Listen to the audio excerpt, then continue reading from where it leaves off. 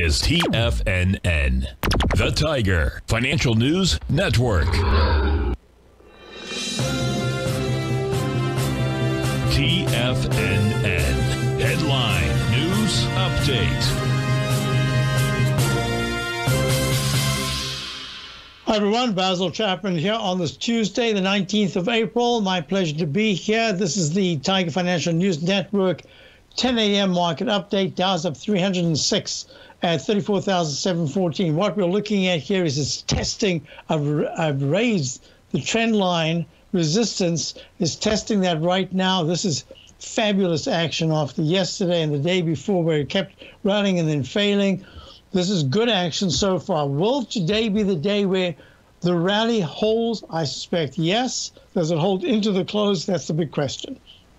But I think a chunk of the rally should hold.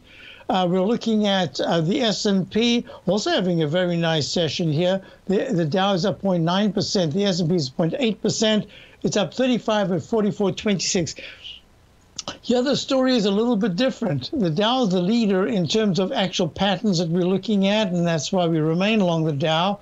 Most importantly, the S&P is looking as if it's trying to break out to the upside. That 200 period moving average is just such a magnet. It needs definitely to get into the 44, 48 to 44.52 level sometime this week, preferably sooner rather than later and that'll be a big thing. I don't want to see it test the low of the day today, which is 43.90 and 44.26 up 35. That's really good. The QQQ is trading with a percentage up 0.8%. It's up 266 at 341.34.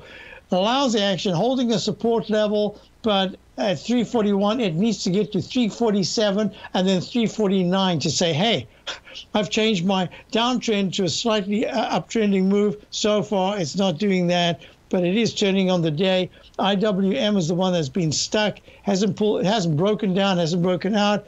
It's up $1.98, up 1%, better better percentage gain. 199.63 right now. It too needs a big move up. It needs to get to the 203s and hold there for a day to say I I've turned the corner but we are looking at gold, and gold's pulling back a little bit. He has down 18. Uh, I suspect gold is in this trading band. Crude oil, same thing. Crude oil is down uh, almost four at 103.67. Remember, we said the 107 should be resistance. I think it's in a range. I'm going to be talking about the commodities as soon as I return. And the TLT, oh my, this TLT is even lower. It's down $1.28 at 118.87. A lot to talk about when I get back for the Tiger Technician's Hour.